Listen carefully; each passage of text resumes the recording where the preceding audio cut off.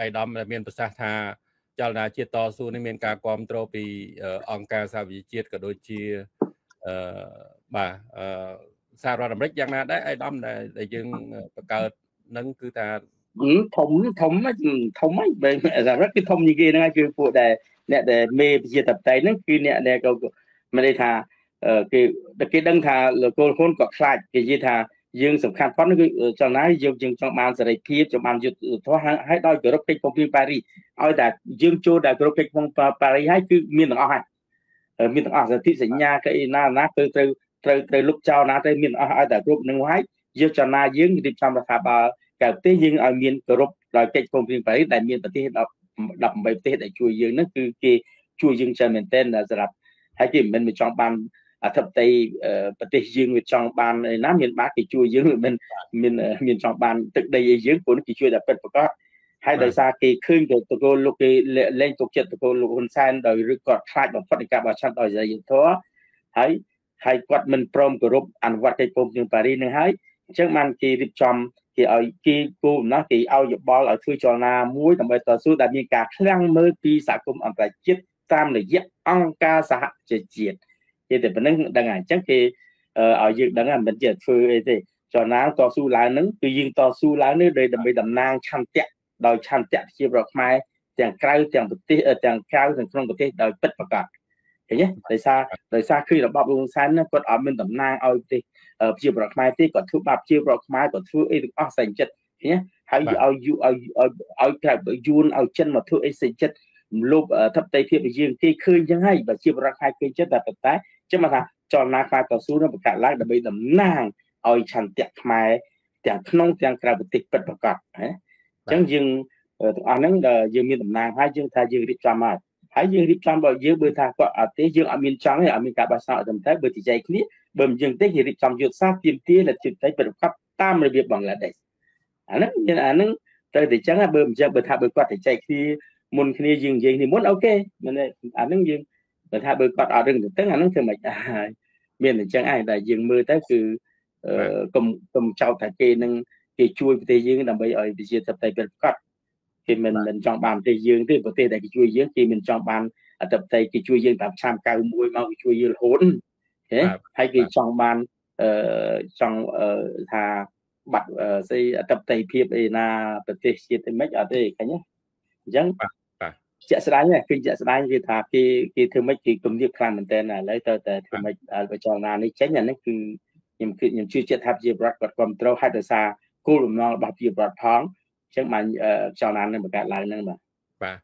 ប្រជាពលរដ្ឋនៅក្រៅប្រទេសហ្នឹងគឺថាផលផុសធ្វើ logo ធ្វើអីហ្នឹងដើម្បីគ្រប់គ្រងចលនាជាតិហ្នឹងភ្លុកទឹកភ្លុកដីច្រើនណាប៉ុន្តែបងប្អូននៅក្នុងស្រុកមិនអាចធ្វើបានដូចយើងនៅក្រៅស្រុកបានទេពីព្រោះខ្លាច ខ្លាចអឺរបបទីក្រុងភ្នំពេញធ្វើទុកបុកម្នេញអញ្ចឹងណាលោកអេដាមបាទបាទបាទនៅនៅនៅក្នុងអត់ឲ្យធ្វើអីអស់ឲ្យតែគាត់នៅបេះដូងហើយចាំដល់ថ្ងៃមួយថាយើងធ្វើធ្វើម៉េចអានេះឃើញតែពីជាក់ស្ដែងត្រូវធ្វើម៉េចទៅម៉េចយើងដឹងហ្នឹងនឹងយើងមានតំណែងតំណងគ្នាឲ្យត្រូវធ្វើម៉េចទៅម៉េចយើងដឹងគាត់នឹងដឹងអញ្ចឹងយើងទុកទុកពេលទុកឲ្យគាត់ទុកឲ្យខ្មែរយើងនៅកើតប្រទេសយើងធ្វើចោះកុំឲ្យគាត់នៅឲ្យស្ងៀមនៅក្នុងបេះដូងទៅបានហើយចាំតែមើលថាការទៅហើយ យើងមានរបៀបធ្វើការដោយល្អដោយយើងមាន Facebook មានអ៊ីនធឺណិតមានអីគឺល្អមែនតើអញ្ចឹងมันអាចនេះបានទេมันអាចនេះបានទេព្រោះគាត់ក៏มันអាចបំបត្តិបានទេខ្ញុំជឿខ្ញុំបារម្ភថា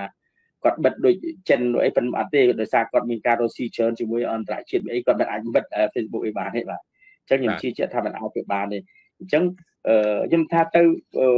ចាប់ដើមឃើញតំណឹងមកសบายចិត្តមែនទែនគឺចាប់ពីចេញមក សំណុំពោច្រើនយកអត់ទាន់ធ្វើដោយសារយើងទុកមើលអន្តរជាតិនឹងជាពិសេសអាមេរិកនិងជប៉ុននឹងគេថាចាំមើលសិនហ៊ុនម៉ាណែតឡើងមកនឹងធ្វើអីអីចេះអឺចាចរចាមានរហូតរហូតមកទេមកចរចាដឹងអស់ប៉ុន្តែយើងអត់ទុកចិត្តអីទាំងអស់វាដូចលីងសើចណាយកយើងឲ្យទោះយើងចាញ់បោកគេអត់យើងអត់ទេយកអត់ចាញ់បោកទេព្រោះយើងធ្លាប់ហែលចំណាយសៀនុវាចាញ់បោកអីចាញ់បោកអស់ណាអញ្ចឹងលើកនេះយើងអត់មានទេគឺ ដោយសារវិបត្តិខ្លាំងមែនទែនហើយដែលយើងមើលដឹងហើយលោករតនានិងបងប្អូនជនជាតិអស់ហើយអាសសស្ដំយើងទាំង5លេងដួលហើយអត់មានទេគេយើងមើលទេសចរគេលេងមានថាយើងជាក់ស្ដែងកូរ៉េខាងត្បូងកូរ៉េខាងជប៉ុនសហភាពអឺរ៉ុបអាមេរិកគេអត់ឲ្យប្រជាប្រដ្ឋគេមកស្រុកខ្មែរទេឃើញទេគេប្រាប់ថាស្ថានទូតគេនៅស្រុកខ្មែរគេមានទាំងអស់កុំភ្លេចថាមានអាណាថាមានគេស្ថានទូតគេមានទាំងអស់គេឲ្យទេសចរអត់មានទេយើងមើលបរាជ័យទាំងស្រុងហើយ ហើយហេតុបរាជ័យក្នុងការកំណែតម្រង់គុណម៉ណែតមកគាត់ចង់កែម្លាយតម្រង់អីទៅមិនរួចទេដោយសារការការឆាប់លទ្ធិជាតិទេវាអត់មានជាតិអីទេឃើញទេចឹងគេចឹងមិនថាវាប្រយ័ត្នមែនទេវិស័យទេសចរដួលអស់ហើយវិស័យវិញ្ញាណភ័ណ្ឌអត់មានទេចិនឥឡូវនេះចិនពុកមានបញ្ហាប្រទេសចិនគេនឹងចូលចេញគេយកពួកអ្នករុស្ស៊ីចិនទាំងប្រមាណគេមកវិញហើយលោកត្រាំឡើងមកវិញគេយកពុនថោកគេយកពួកអ្នកវិយុ អ្នកមានមានត្រឡប់មកវិញវិញហើយគេមកហើយពេលមកគេមកមកធ្វើណាគេមកធ្វើនៅវៀតណាមគេមកធ្វើនៅទៅទៅនៅនៅណានៅនៅស្អីថៃធ្វើនៅហ្វីលីពីនសិង្ហបុរីម៉ាឡេស៊ីនោះវិញអត់ដែលខ្មែរនិងភូមាទេដែលអត់មានជាតតៃអត់មានមានសិទ្ធិសេរីភាពហ្នឹងគេជឿថាប្រទេសគេគេនេះហើយកុំភ្លេចថាពួកយើងជួបពួកខាងវៀតណាមវៀតណាមគេលោកធានបានជួបពួក ខាងវៀតណាមនៅនៅនៅនេះគេគេថាថាអ្នកឯងធ្វើដូចអ្នកឯងទៅចាប់ចិនទៅអីធ្វើដូចពួកគេគេកុំនេះគេគេចាប់គេចាប់លោកសេរីចាប់អសហរដ្ឋអាមេរិកគេប្រទេសគេអឺមានឃើញធ្វើមករោងចក្រធំធំផ្សេងៗមកធ្វើប្រទេសគេទាំងអស់ពេលឯងទៅណាចាប់ចិនចិនមានណាចិនមានបាត់សេដ្ឋកិច្ចពងវេទនាចង្អប់ចិនឥឡូវគេដកឲ្យគេដករោងចក្រចេញមកពីចិនអស់ច្រើនណាទីទីចាប់ដើមដើមដើមហើយគេឃើញហើយសហជីវជាតិសហរដ្ឋអាមេរិកដែលទៅធ្វើនៅចិនច្រើននេះធ្វើ លោកត្រាំនេះគាត់នឹងប្រកាសឲ្យថាគាត់នឹង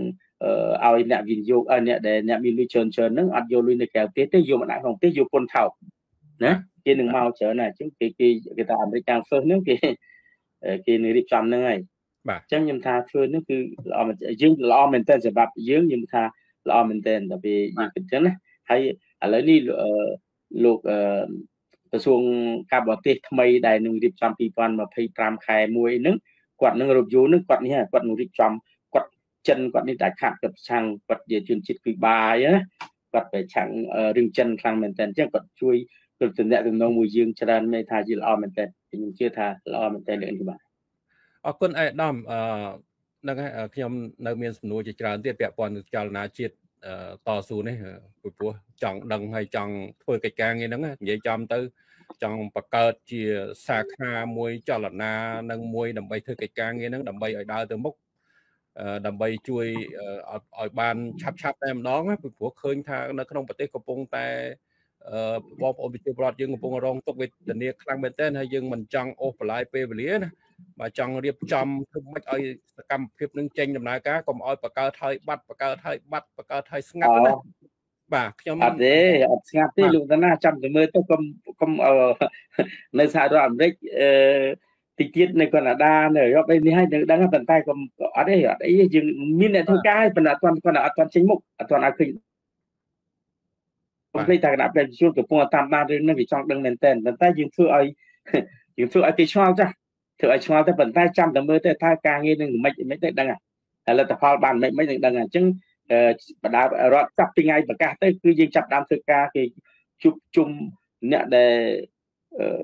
ត្រូវត្រូវទៅចូលក្រុមប្រឹក្សានៅមិនគេជួបអ្នកយើងមានទាំងអស់មានទាំងពុកសង្គមស៊ីវិលយើងមានទាំងអីណាមានមានទាំងអស់យើងមានទាំងអស់អ្នកដែលល្អគេបង្កើតកែណាយើងថាល្អអ្នកដែលស្រឡាញ់ជាតិគ្រប់តែថាយើងរៀបចំនឹងនឹងដឹងពេលថ្ងៃក្រោយគង់ដឹងទេប៉ុន្តែឥឡូវនេះយើងសូមដោយលោកទានក៏មានសារចឹងសូមកុំឲ្យឆ្ងល់ពួកខាង យើងរីចង់ដឹងរណៃចង់ដឹងប្រទេសណាប្រជាជនជាសិលលោកសាចង់ដឹងណាចង់ដឹងគេឆាំងយើងយើងទៀតតែយើងចង់គាត់ចឹងគណៈប្រជាជនចង់ដឹងសមាជិកនៅក្នុងប្រទេសប៉ុន្តែក្រៅប្រទេសយើងត្រូវធ្វើកិច្ចការងារហ្នឹងឲ្យវាមានចលនាពីព្រោះយើងបង្កើតចលនាដើម្បីយើងធ្វើសកម្មភាពគេចង់ដឹងក្រៅប្រទេសណាគេចង់ដឹងនៅក្រៅប្រទេសណាមុនសែនចង់បានដឹងអ្នកនៅក្រៅប្រទេសហ្នឹងឯងតើក្នុងប្រទេសយើងក៏និយាយបាទបាទនៅក្រៅប្រទេសហ្នឹងចង់ដឹងណានៅក្រៅប្រទេសខ្លះឥឡូវយើងឲ្យដឹងតែសំស៊ីសិនទេ បាទឲ្យដឹងសំស៊ីឲ្យដឹងផ្សេងអត់មានទេបាទអត់មានពួកយំពួកខ្ញុំអត់មានទេបាទពីព្រោះទៅខ្លាចអីទៀតបើថាយើងចូលធ្វើកិច្ចការងារចលនាហ្នឹងយើងទៅខ្លាចអីទៀតយើងមិនត្រូវខ្លាចទេនៅក្រៅប្រទេសនេះបាទ យើងខ្លាចខ្លាចតែសមាជិកភាពដែលគ្រប់គ្រងចលនានៅក្នុងប្រទេសនេះតែយើងនៅក្រៅប្រទេសហើយរឿងអីខ្លាចគេមកគម្រាមខ្លាចខ្លាចគេមកចាប់អត់អត់អត់ទេលោកណាអត់អត់អត់ទេមិនអញ្ចឹងលោកណាសូមឲ្យបងជាប្រតអស់ឲ្យចាំប៉ុន្តែមិនខ្លាចមិនអីទេគង់តែដឹងទេប៉ុន្តែឥឡូវគេធ្វើអត់ឲ្យដឹងទេគឺចេញតែសំស៊ីមួយជានិមិត្តរូបមួយទេហើយប្រមាណទៀតសំស៊ីនឹងធ្វើការជាមួយនឹងតបតបតបអត់មានបញ្ចេញថាអ្នកនេះអ្នកនោះអត់មានចេញហើយធ្វើការ ចាប់ដើមធ្វើការហើយតែតែគាត់យើងអត់បញ្ចេញឈ្មោះគាត់តែប៉ុណ្្នឹងឯងអត់ទាន់បញ្ចេញអត់ទាន់បញ្ចេញឲ្យគេនឹងរៀបចំ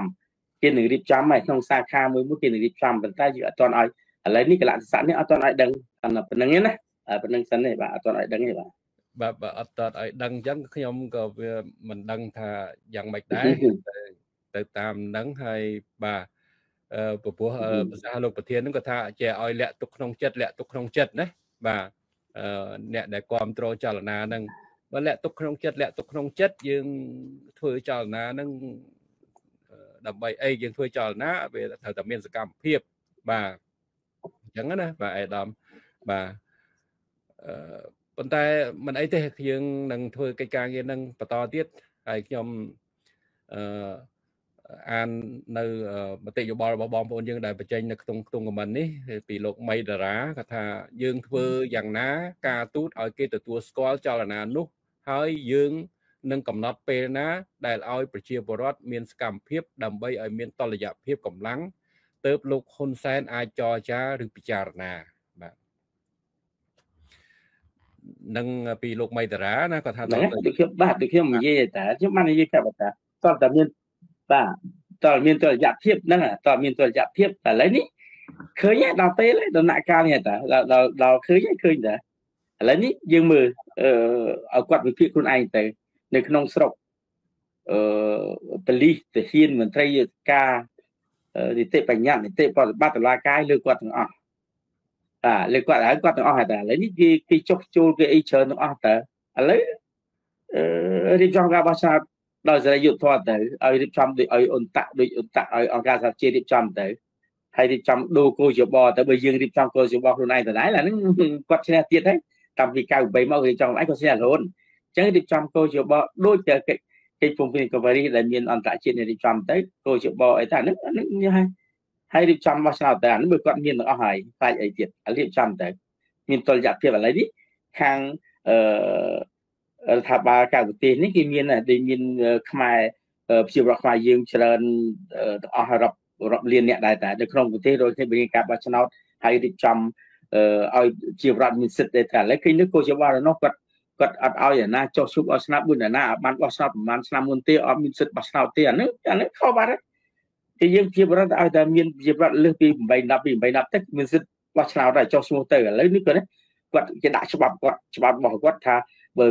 បើអ្នកណាអត់បានទៅបោះឆ្នោតឆ្នាំ2018ទេគឺអត់មានសិទ្ធិបោះឆ្នោតអីទេអានេះអានេះបណ្ដាលគាត់គាត់គាត់គាត់អ្នកថាអញ្ចឹងបើយើងយើងអត់ទេយើងសូមឲ្យជារដ្ឋទាំងអស់មានសិទ្ធិបោះឆ្នោតអស់គ្នា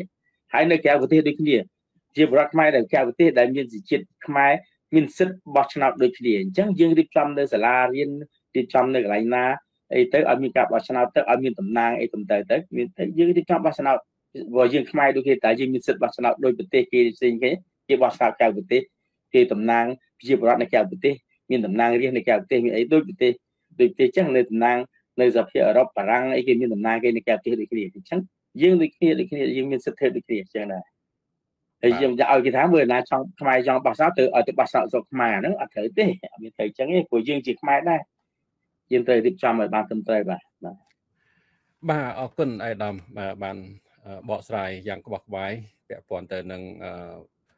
ចលនាជាតិតស៊ូនេះបាទខ្ញុំអឺមានសំណួរមួយចំនួនទៀតដែលត្រូវសួរទៅកាន់អេដាមដូចជាថាចលនាជាតិតស៊ូនេះគឺថាយើងមិនចូលរួមការបោះឆ្នោតទេ បាទយើងមិនមិនមិនមិនមិនមិនចូលរួមមិនមិនគ្រប់គ្រងការបោះឆ្នោតទេ ចលនាជាតិតស៊ូនេះបាទតើអានឹង ហេតុហេតុអ្វីទៅបាន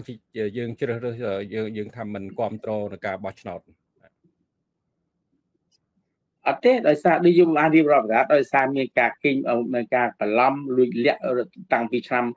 1998មករហូតដល់ឥឡូវទេហើយការបោះឆ្នោតដោយរៀបចំដោយដោយដោយដោយដោយលោកហ៊ុនសែនដោយគណៈបកប្រជាជនអញ្ចឹងបើបើសិនជារៀបឲ្យយើងចូលចូលបោះឆ្នោតបានទូថាតែដូរកោជប រៀបចំដោយអន្តរជាតិរៀបចំឲ្យដូចឧទាហរណ៍យ៉ាងហោចណាស់ដោយការគណៈបកសុខជាតិនៅ ការយើងសន្ទនាគ្នានោះគឺ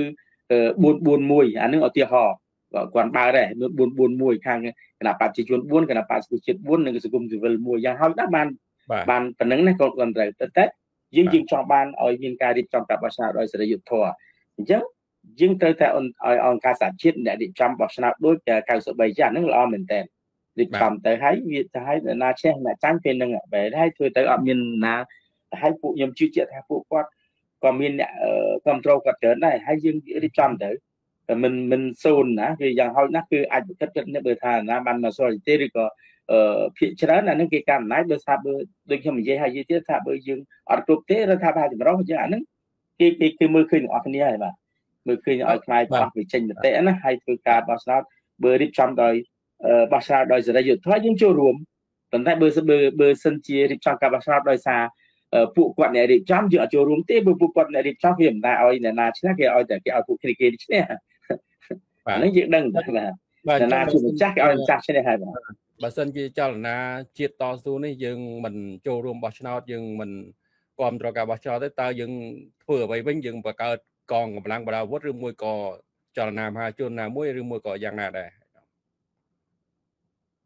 ទីយើងយើងយើងអត់អត់ខ្ញុំបាននិយាយច្រើនទេដូចយើងចលនាយើងថៃរីធ្វើគោលការណ៍របស់យើងដូចប្រទេសបង់ក្លាដេសហ៎បាទយើងបានទេតាយើងបានលោកលោកប្រធានសមាជិកបានប្រកាសហើយតាគឺថាបានប្រកាសគោលការណ៍របស់យើងរដ្ឋាភិបាលរដ្ឋដើម្បីតំណាងឲ្យចតិបរដ្ឋនេះគឺយើងរៀបចំអឺធ្វើដូចដូចប្រតិកម្មដូចបង់ក្លាដេសរៀបចំហ្នឹងណា បាទទៅដោយមិនអាវត្ត5ទៅទេគឺយើងរៀបចំហ្នឹងគឺធ្វើដូចប្រទេសបង់ក្លាដេសហើយគឺគឺគឺយើងរៀបចំយុទ្ធសាស្ត្រទៀមទាលទ្ធិប្រជាធិបតេយ្យដូចនៅប្រទេសបង់ក្លាដេស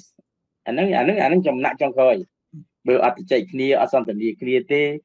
ខ្ញុំខ្ញុំខ្ញុំដូចបានខ្ញុំនិយាយហើយនិយាយទៀតខ្ញុំចិនតែនិយាយថាខ្ញុំថាមានតែដែលខ្ញុំជាអតីតតំណាងរាក៏ឥឡូវក៏ខ្ញុំ ដើរគ្រប់ប្រទេសប្រទេសលោកសេរីដែលភាគច្រើនដែលខ្ញុំទៅជួបបងប្អូនជីវៈខ្មែរហើយនៅក្នុងស្រុកដីហ្នឹងគឺគ្នាចង់បានឲ្យមានការជជែកគ្នាអសន្ទនាគ្នារឿងខ្មែរនិងខ្មែរអានេះគេគេចង់បានអញ្ចឹងភាគច្រើនណាគេអាចឲ្យយើងគេថាឲ្យយើងសន្ទនាគ្នាវត្ថុសន្ទនាជាមធ្យោបាយជំរឿសមួយអញ្ចឹងទៅដល់ភាសាឲ្យខ្មែរដែលដែលយើងធ្លាប់យើងធ្លាប់បានធ្លាប់ធ្វើហើយហើយគេមិនចង់ឲ្យគេអត់ចង់ឲ្យមានដឹកនាំជាប្រំចង់ឲ្យមានដឹកនាំប្រើអាបបទៅហិង្សា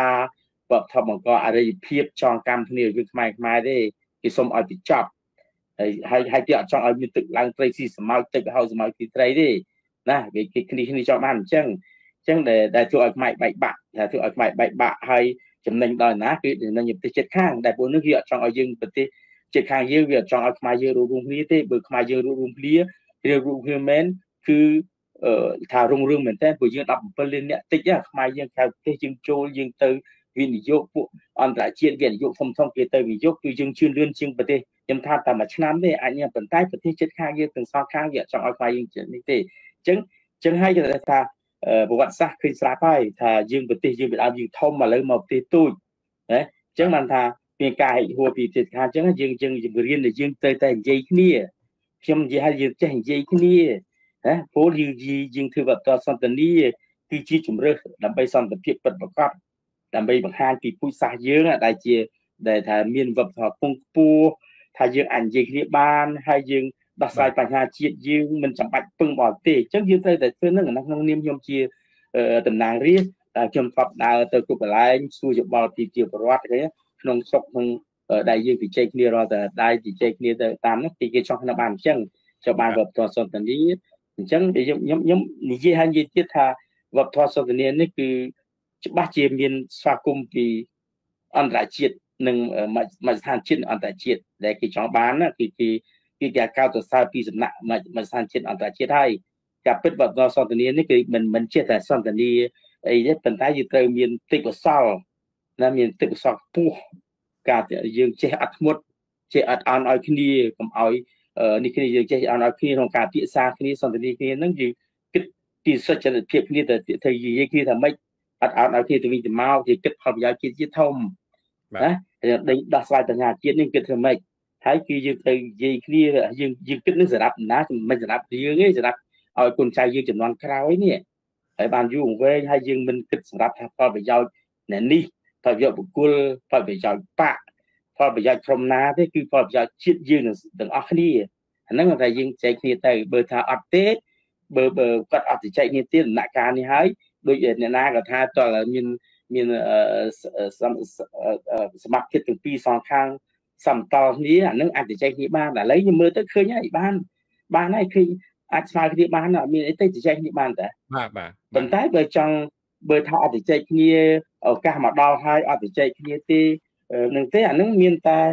ដូចលោកប្រធានសំជីហើយនឹងពួកគណៈបព្វជិជនមួយចំនួន